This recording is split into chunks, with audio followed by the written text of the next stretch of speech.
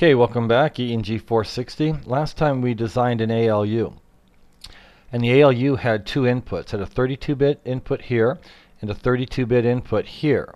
And um, this 32 input down here comes from a 2 to 1 mux.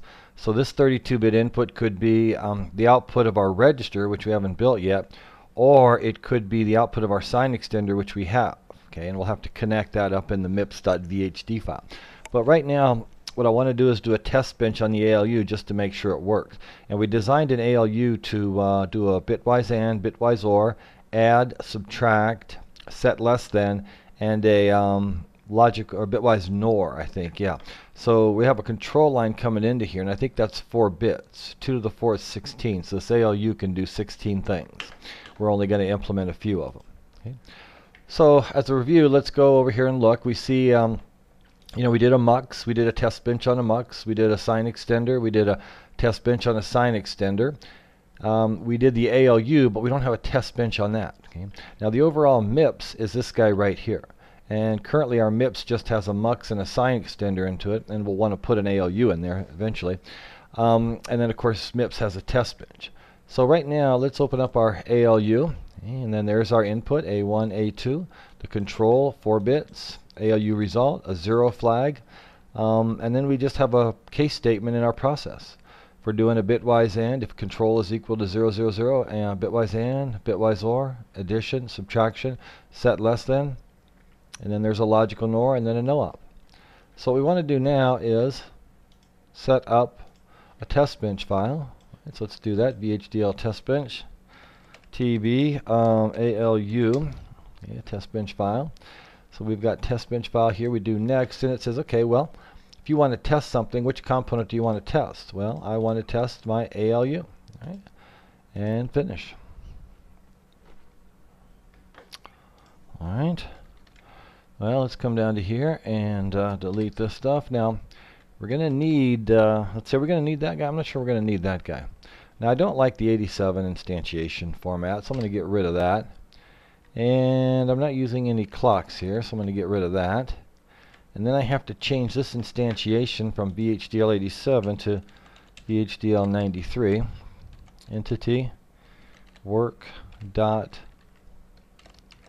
behavioral. And there's my port map. Alright, so we're good there. And then let's see, we're not going to have any clocks in here, so let's take this guy out. And let's uh, modify the body of our stimulus process. And this will give me my zoom to full view capability. Okay. And let's see. Um, again, I want to change these guys to test bench underscore, so let's do that. Okay. Just prefix them with a TB for test bench, and then when I do my instantiation, I have to change their names also. Okay. Yeah. All right, so you know the variables on the left are part of the component. The ones on the right are signals in the current test bench file. Okay. Now let's see in our stimulus process what I'm going to do is I am going to do several cases. TB, uh, ALU, control. We'll set that equal to 1, 2, 3, 4 and let's see what's that guy. That guy is um, that is a bitwise AND, right? Okay. Let's do that. Let's control C on that. We'll copy that like five times. And this will be a bitwise OR. And I think a bitwise OR has a 1 here. And this one will be addition. I think addition had what? Was that 2? Yeah. And then what was subtraction? I can't remember what subtraction was. Uh, let's see. Where's subtraction? So let's see, uh, 0, 1, 2. Subtraction was 0, 1, 1, 0. Okay. Subtraction was 1, 1, 0. And then I think actually the next one was a set less than. And what was the control signal for a set less than? Uh, 0, 1, 1, 1. Okay, so that would be a 0, 111 and then the last one was a bitwise NOR okay what was the control bits on that. Uh, 1100. Okay, so let's put that into there. Okay, so here I'm setting up my ALU control. It's going to tell the ALU what to do. And we want to wait. Okay, so let's uh, wait for maybe uh, 50 nanoseconds. Okay. And then, uh, let's see, scroll this up here. And then what I want to do is just copy that guy. So every time I change the ALU control, I'm going to wait. Okay. And let's see, I think that's it pretty much. Yeah, we just, uh, oh, we have to set up our input on the ALU. Okay, what's the input? Well, the input is TB. So TB-A1, and let's give that guy a value. Maybe we'll give that a value of um, hex. 1, 2, 3, 4, and then how about a 1, 2, 3, yeah, I'll just do something easy since we, so we can just uh, read, you know, uh, do it by inspection. And let's make this guy, how about a negative 1? There you go. Yeah, negative 1.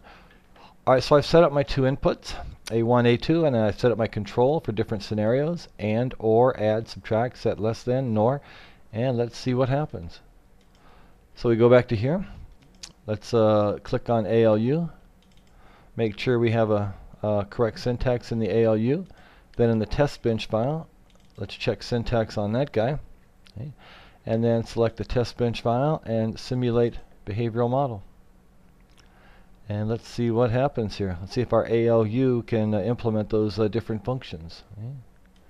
So let's come back to here, back to here, zoom to full view, and notice right here, um, my ALU control is 0, and that's saying a bitwise AND. Okay, well what's on input 1? Input 1 currently has a 3, input 2 has an F. If I do a bitwise AND, 0 ANDed with F is 0, 0, 0, 0, and 3 ANDed with F should give me a 3, and there's my result. So that was the AND. Then I changed my ALU control to 1, and that was a bitwise OR. 0, and, or 0 ORed with F is F, 3 ORed with F is F, and I get quad F, quad F. Alright, that's good. Then I change it to 2, and that's an addition. I'm taking 3 plus a negative 1. 3 plus a negative 1 is 2. Okay? Then I do subtraction. Okay, I take 3 minus a negative 1. 3 minus a negative 1 should give me a, a 4. Yeah, 3 minus a negative 1 is a positive 4. Then here we do a set less than. Set less than if the first argument is, no actually this is this a set less than? Set less than, okay, that doesn't look right. Set less than, when I have a 7, is 3 set less than. No, I think that should be, um, I don't know, hold on a sec here. Okay, it looks like uh, testing has actually surfaced a bug in our code because um, at this point right here we have a 7 and that's a set less than and we're setting our output. Is 3 less than negative 1? Well, no. So we shouldn't be setting, but we are. So um, uh, our set less than implementation is not acting like the set less than um, co uh, or opcode or command according to our green sheet.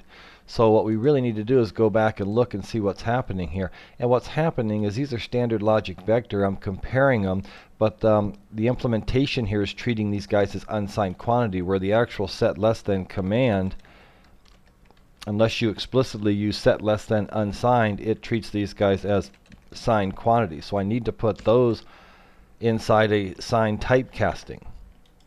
All right, let's do that and see what the output is. I recompile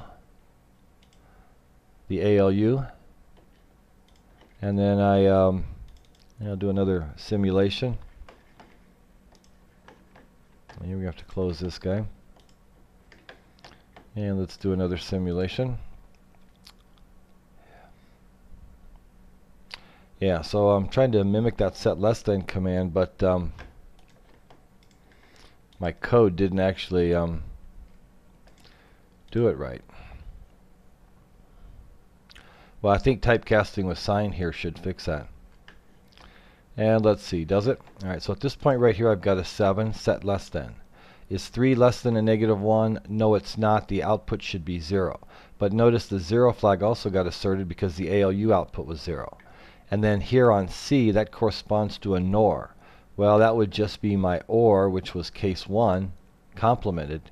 Quad F, quad F complemented gives me 0, 0, and again my 0 flag is set. Alright? Okay. I think I'm going to stop there, and we have successfully tested our ALU, and we actually found a bug in it that we fixed. Well, that was wonderful. Great.